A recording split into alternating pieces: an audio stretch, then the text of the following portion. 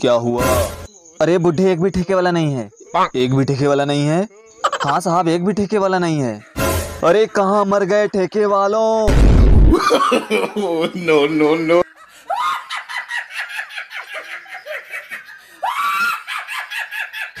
अब तेरी माँ की क्या समस्या तुम अपने आप को?